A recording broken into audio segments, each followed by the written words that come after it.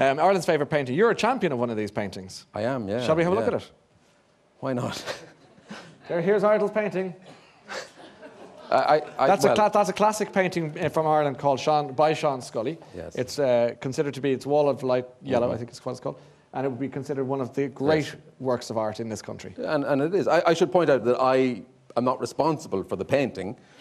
I am in a privileged position where I am actually supporting it and championing. It. And are you- is that- was that your choice? It, well, it is. Yeah, I know it's a hard sell. I mean, No, no, it's not a hard sell. Is- But is it, did you I, want I, to? I feel like Bertie Ahern at the tribunal trying to defend the indefensible here. Well, why, but did you want to defend this? I did actually. Yeah, I really love that painting. but you're doing this. You're kind of half Pontius Pilate. Like, what you're? Are you? Do you I know to? I could become a pariah for, for doing this. People hate that. Why do they You have no it? idea. Well, because it doesn't tell a story. People like a story, like a neat little. You know, they want I they want the- they want meaning. They want to the be able woman to with the flowers and the say- you know, they want to be able to pass it very quickly and go, oh, I know exactly what that is. It's a it's a little church. So how are you selling? How are Hmm? you defending or selling this? Uh, with great difficulty.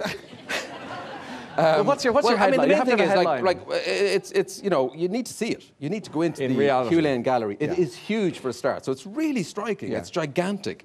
It's got lots of colour. Yes. So, if you like colour and size, that's your painting.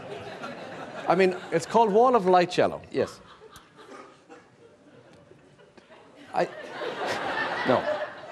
I I mean, you know, like it's it's to most people out there, it's just colours and shapes. But to you, I've already done this. but to you, Yeah, it, it is uh, it is colours and shapes as well.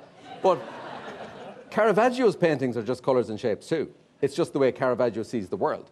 This is the way this particular man, Sean Scully, sees the world. now you're. Now you see, we're getting Yeah, there. I think I, I think it helps to know a little bit about the painter and a little bit about his his motivation and his impulses, and then you know you will actually. I mean, if you look at it for a very long time, you will see a face. you just made that up, didn't you? Uh, it's, it's You just made that up. His mother. If, I, but yeah, yes, I did. it is very difficult. You would need about two hours to try and sit down and explain, you know, the whole history of abstract art and Scully's place in that. Do you think you're going to win this competition? No. No, I didn't think so either. Ladies and gentlemen, Ardal O'Hanlon. Thank you very much. Thanks.